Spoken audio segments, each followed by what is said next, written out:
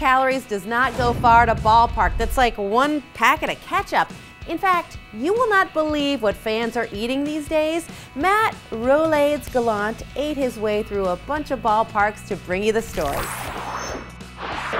Ah, baseball season. Yeah, there's the crack of the bat and the roar of the crowd. Let's be honest. We're most excited about the food. Ballparks across the land are taking the stadium eats to the next level, the extreme level. Like the Tampa Bay Rays. They serve up a four pound burger and fries in the Fan V Food Challenge. You finish it, you get a t shirt and two free tickets. The Texas Rangers serve the Choomongous, a two foot long spiced beef sandwich with slaw and sriracha. From the White Sox, slide hard into insulin dependency with 12 scoops of ice cream, two bananas, and syrups galore, served in a life size batting helmet. And the Arizona Diamondbacks hit it out of the park with this.